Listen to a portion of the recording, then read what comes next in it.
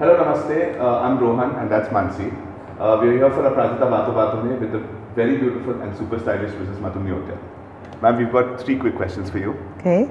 Uh, what does Aparajita mean to you? As in, who is Aparajita in your life? Okay.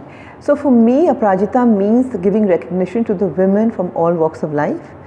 And the Aparajita in my life, I would say in my family is, I think all the women, but especially uh, Bimla Devi Poddar. She uh, is 80 year old and I think she has done a remarkable job the way she has um, brought culture Right. into, um into our life.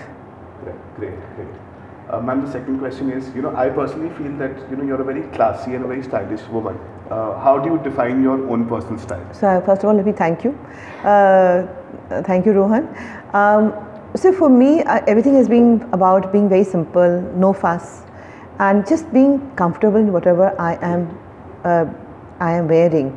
So uh, I think it's just all about that, and it's just never getting uh, intimidated or influenced by the fashion around me.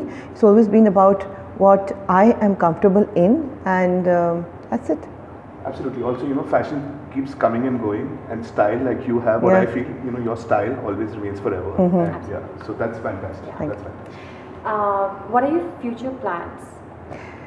So, of course, the future plan is, of course, the India story, which uh, we uh, plan to uh, uh, continue and make a. It's basically a gift for Calcuttans, and uh, number one. Number two is also I am uh, going back into healthcare. Uh, we started this Bhagirathi Neotia one. We're opening very soon the Bhagirathi Neotia two in couple of in a week's time. Wow. So, woman and child. So yes.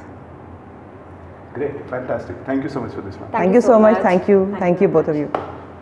So that was Mrs. Madhu Neotia for the Aparajita Baaton Baaton Main. Um, please stay tuned for more updates on Aparajita 2018. And cast your vote in our Aparajita website. Uh, see you there on 13th of March.